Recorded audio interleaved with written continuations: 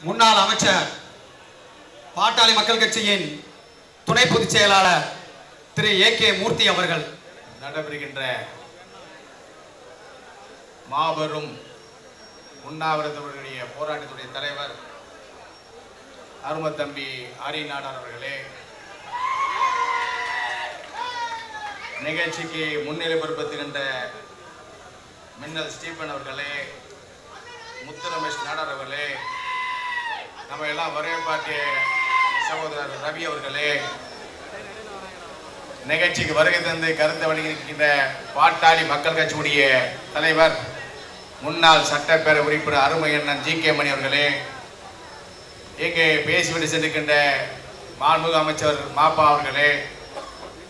நிகழ்ச்சி வருகை தந்திருக்கின்ற அருமை சகோதரர் சீமான் அவர்களே. வருகை தந்திருக்கின்ற பல்வேறு அமைப்புடைய தலைவர் மக்களே பேசி சென்றிருக்கிற அருமை அண்ணன் விஜி சந்தோஷ் அவர்களே என்ஆர்ஜி அவர்களே வருகை தந்திருக்கின்ற என் அருமை நாடா சமுதாயத்துடைய தலைவர் மக்களே உங்கள் அத்தனை பேருக்கு வணக்கம் தெரிவித்துக் கொண்டு இந்த உண்ணாவிரதம் இன்றைக்கு அருமை சகோதரர் அரிநாடார் அவர்கள் அக்டோபர் மாதம் எங்களுடைய மருத்துவர் ஐயா அவர்கள் அண்ணாச்சி பிஜிபி சந்தோஷ் அவர்கள் விவசாயத்தை பற்றி ஒரு புத்தகத்தை வெளியிட்டார்கள். அந்த புத்தகத்தை வெளியிடுவதற்கு மருத்துவர் ஐயா அவர்கள் வர வேண்டும் என்று சொன்னார்கள். அப்போதான் சீ நம்முடைய சகோதரர் சீப்பனர்களும் ஹரிநாடா ரெண்டு பேரும் மீண்டும் இந்த புத்தகத்தில் சிபிஎஸ்சி பாடத்திட்டத்தில் அந்த புத்தகத்தில் அந்த பதிவு இருக்கிறது.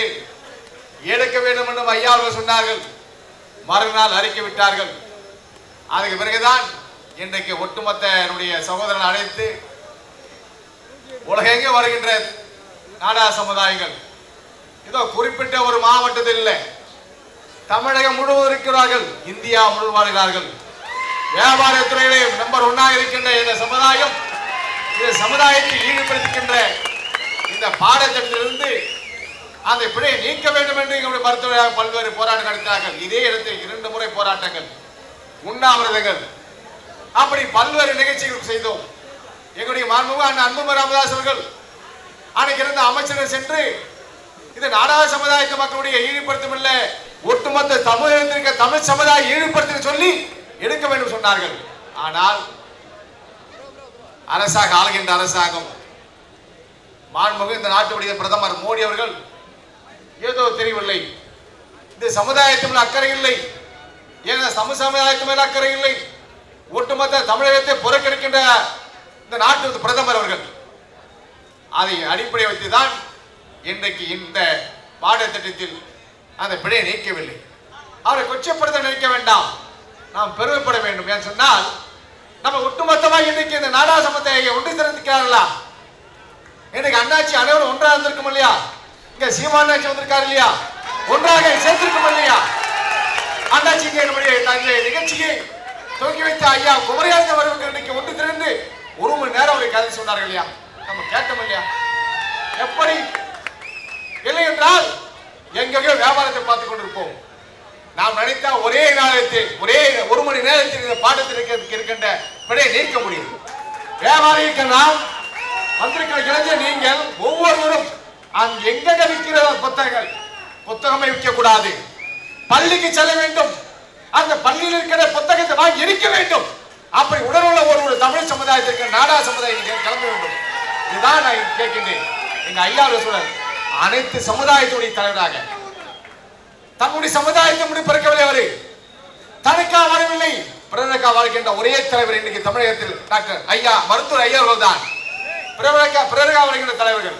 ஏன் சொன்னால் இந்த நம்முடைய தமிழகத்தில் இருக்கின்ற நான் யாரும் குறைசவில்லை ஆளுகின்றவர்கள் மத்தியிலே ஆளுகின்றவர்கள்.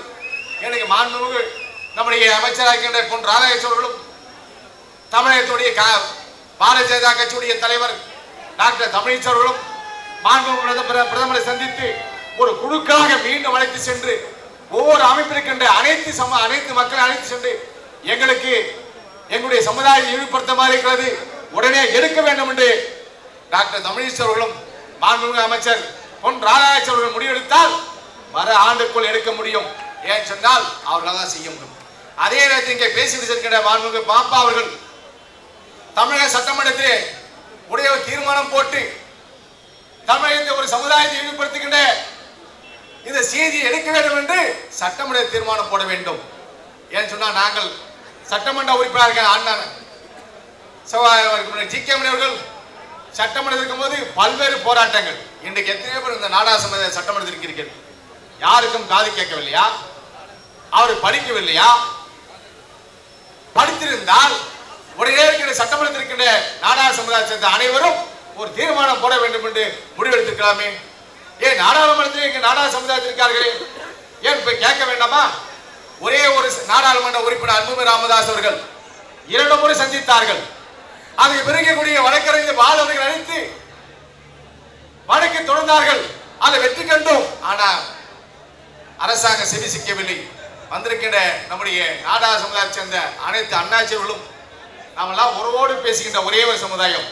எந்த சமுதாயம் இல்லை. அண்ணன் அக்கா என்று கூறுகின்ற ஒரே ஒரு சமுதாயம் நாடா சமுதாயம். எந்த சமுதாயம் இல்லை. அப்ப உறவு பார்ப்பார்கள் சின்ன குழந்தையாகவும் பெரியவாங்க அண்ணாச்சி வார்கள் அக்கா வார்கள் அம்மா வார்கள் என்று கூப்பிட்ட ஒரே சமுதாயம் இந்த சமுதாயம்.